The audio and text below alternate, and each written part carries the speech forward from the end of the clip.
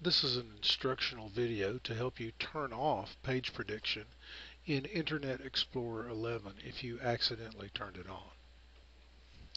Let's assume that you've just installed Windows 8.1 or the upgrade and you think you might have picked the Express Settings option which turned on page prediction and sends your browsing history to Microsoft.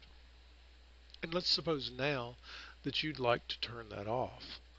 What you can't do is simply click on Internet Explorer on the standard toolbar and then go to settings. Nor can you go here to settings after launching it from the standard, toolbar. What you need to do in order to turn this off is to go to the start screen click on Internet Explorer which launches it like this. Once you've launched Internet Explorer this way, place your mouse up in the upper right hand corner, slide down the list of charms to the settings charm, and in the privacy menu option, right here you can find a place to turn on and off the various items that you might want to turn off. That's a quick tutorial on how to turn it off if you accidentally turned it on.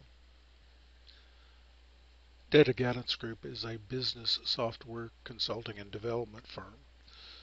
Small and mid-sized business clients rely on us when they've outgrown their existing software, when they want to grow without adding employee headcount, or when they're rekeying data and having trouble getting the information that they need because their systems or their processes are inadequate. We're unique because everyone that's client facing at Data Guidance Group has both business expertise and technology expertise.